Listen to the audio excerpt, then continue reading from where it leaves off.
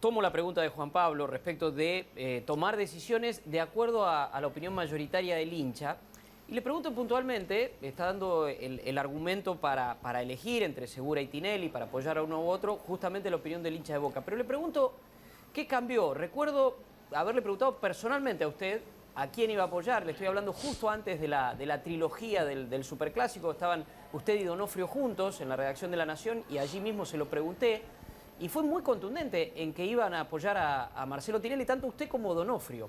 Eh, eh, ¿Qué fue lo que cambió? No, búscame, búscame, búscame, no, no, búscame el video. Yo fui muy contundente y fui el primero, el primero en trabajar para que Marcelo esté habilitado. Yo dije que en estos tiempos, en un país democrático, no puede haber proscripción a un dirigente de fútbol. Por tres años, cuatro años, por interpretación de un reglamento pero del primer día, y si querés se lo puedo preguntar también a Marcelo, desde el primer día le dije que yo me comprometía a trabajar y trabajé mucho para que estuviera habilitado. Pero eh, nunca me comprometí a votarlo, nunca. Pero hubo algo puntual, de todos modos, que más allá de ese apoyo y de esa apertura, sí, eso lo recuerdo perfectamente, a que no hubiera proscripciones, que haya cambiado. Y digo, por ejemplo, eh, el episodio famoso de la fecha 23, que parece como algo pequeño cuando uno está hablando del futuro del fútbol argentino, si eso influyó. Todas las pequeñas cosas, o a veces no son tan pequeñas, influye. Pero yo te vuelvo a repetir, soy un presidente que camina por las calles. Soy un presidente que vengo todos los días al club, vengo a los partidos, subo las escaleras, me cruzo con los socios y yo sé la opinión mayoritaria del hincha de Boca. Y en este caso, como tampoco me parece que es lo importante, lo principal, quién va a la cabeza.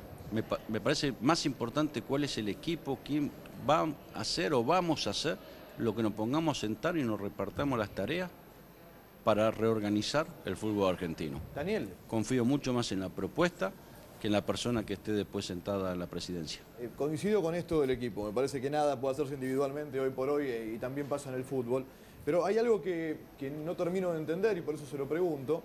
Eh, ¿Cuál es la idea que en definitiva lo acerca a Segura eh, y no a Tinelli? Digo, porque usted marca esto de los hinchas y respaldar la decisión de los hinchas.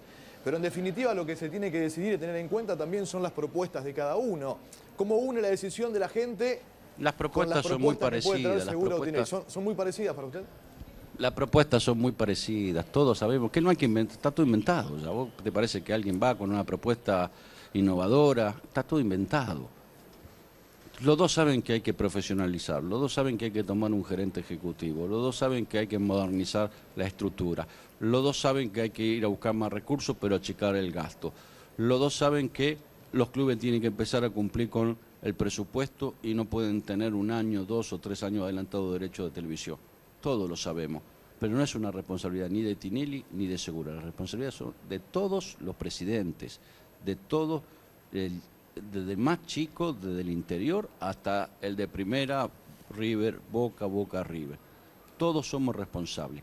Y en esa responsabilidad nosotros vamos a trabajar juntamente con River, con Independiente, con Racing, vamos a trabajar para buscar un solo proyecto que podamos consensuar, que nos podamos comprometer y cumplir. Porque hoy el reglamento dice todas estas cosas. Lo que pasa es que si vos aplicás el reglamento y la Asociación del Fútbol, juegan dos equipos, tres equipos jugamos, ¿eh? me incluyo, jugamos dos o tres equipos. Entonces hay que bajar la vara. A lo mejor la vara está muy alta, hay que sentarse, hay que bajarla, pero una vez que la bajamos, después la tenemos que cumplir todos. Tenemos que trabajar para ir a un torneo competitivo.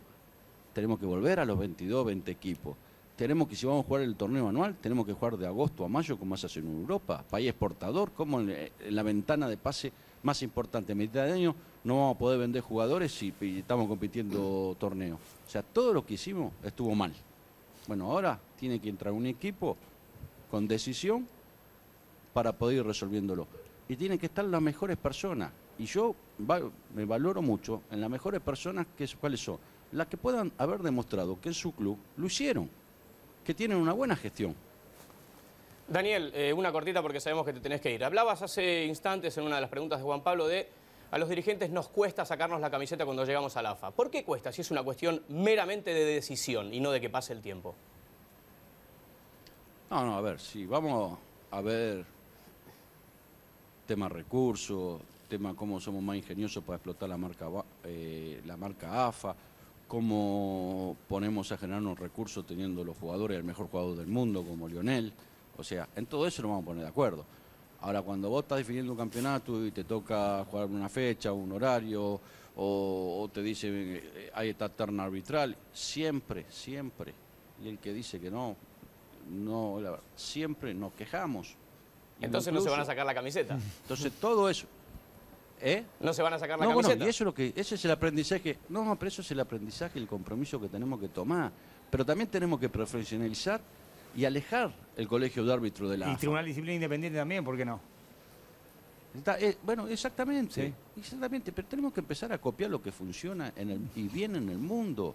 No queremos ser los inventores de todo. Inventamos muchas cosas en el fútbol, pero tenemos que empezar a copiar lo que funciona bien, darle jerarquía.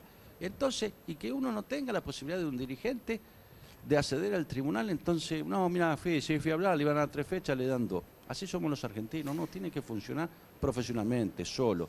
La terna arbitral, el director de árbitro tiene que poner los mejores, los Sí. que están en cada momento. Ahora, también tenemos que ser conscientes que no tenemos tantos árbitros para jugar No. 30 equipos, ¿eh? No. Eh, si no empezamos, empezamos mal.